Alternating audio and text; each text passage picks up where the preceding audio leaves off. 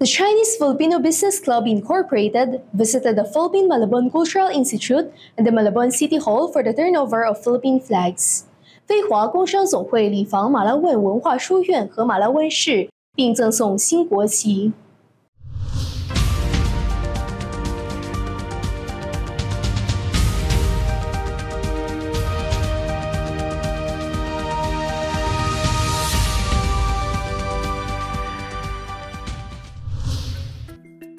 二零二四年五月二十一号是马拉汶市庆祝建市四百二十五周年纪念日。当天中午，飞华工商总会礼访菲律宾马拉汶文化书院，受到该校董事长曾焕斌、董事王宗煌、董事以及马拉汶商会理事长佘日焕、行政主任刘家宝及学校教职员工等人的热烈欢迎。适逢菲律宾国旗日及独立节。该会特携带国旗赠送该校，希望在节日期间，崭新的国旗能在校园内迎风飘扬。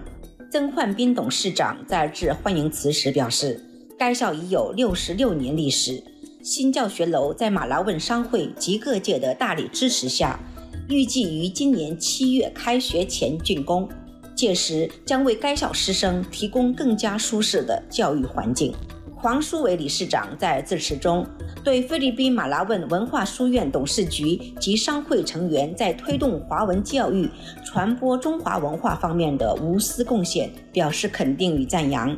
随后，学校准备了午餐招待，双方进行了亲切友好的座谈交流。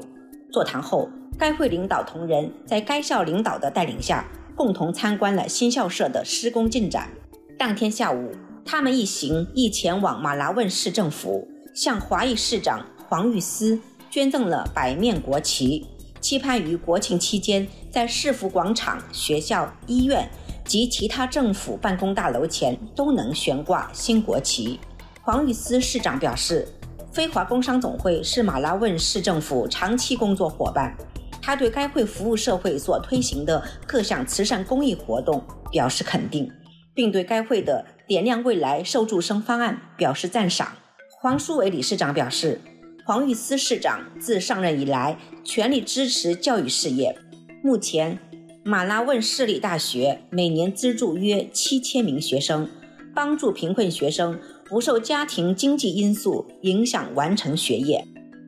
Chinatown News 非中新闻台综合报道。